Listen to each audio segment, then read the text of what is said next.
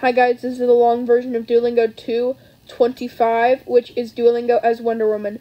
Have a nice day, everyone.